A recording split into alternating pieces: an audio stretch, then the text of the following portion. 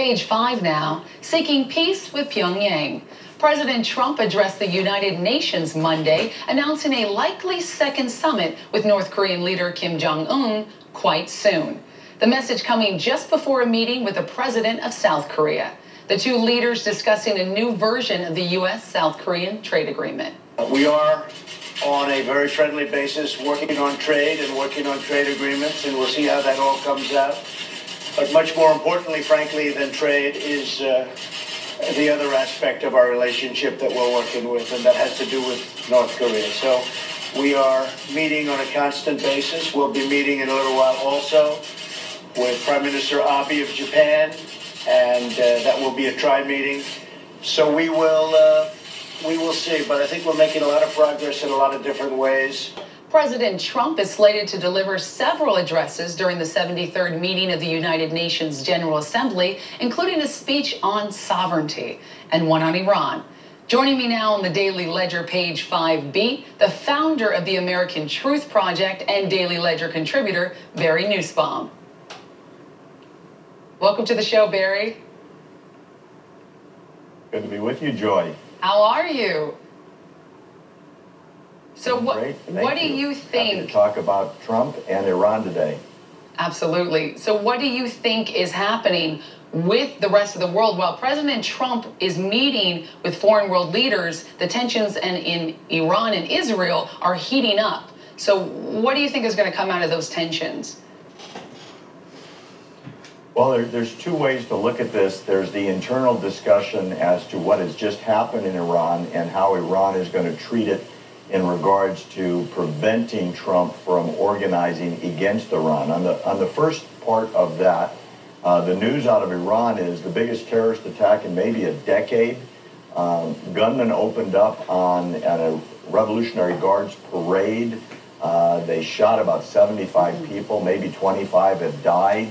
It's a massive terrorist attack inside the most secure place in Iran, inside of a military parade and Iran is blaming the United States and Israel for orchestrating it, which is absurd, but that's normally what Iran does. Mm-hmm. They cast uh, the enemy in the worst possible light, and that keeps their people uh, under control, at least on a temporary basis. Right. So, in regards to the rest of the world, Iran is scrambling now to organize against Trump's speech at the United Nations. Trump has tweeted uh, and the White House has leaked that Trump will go before the UN and is meeting with world leaders to mm-hmm. drum up support against the Iran nuclear deal and in support of very heavily increased sanctions that are going to kick in in the coming weeks. Uh, the sanctions thus far, which are not the horrible ones, are destroying Iran's economy. And the word is eventually Iran will have to come to a negotiating table with Trump simply to survive economically. Mm-hmm. So that's the big news out of uh, the United Nations this coming week, Joy. Wow, was the terrible Iran deal a part, part and parcel to these tensions? I think there's no doubt about it. Trump ran for office two years ago on the premise that this is a horrible, disastrous deal, the worst in American foreign policy history. I happen to agree quite strongly with him. Uh, Mike Pompeo, his Secretary of State, believes it.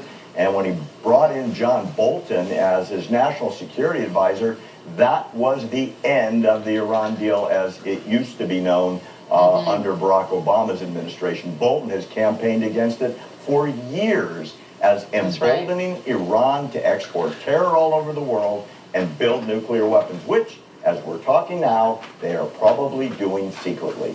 I agree with you. You know, I, I, think Trump is the ultimate peacemaker, though. You know, on the flip side, his meetings with Korea could be really historic, don't you think? Yeah, he's, he's actually meeting today with uh, the president of South Korea uh, and going to sign a new trade agreement with them. And his pressure that started last year at his speech at the UN uh, about Rocket Man, if you remember that oh, speech last year. Uh, that brought North Korea to the table, and as a result, we may be on the brink of uh, Nobel Peace Prize talk for Donald Trump mm-hmm. if the North and South are able to patch things up, and the North gives away their nuclear weapons. Uh-huh. I 100% agree. I think it's still going to happen. I agree. I mean, this president has done more for foreign relations and peacemaking than any other president in history. Thank you so much, Barry, for joining us.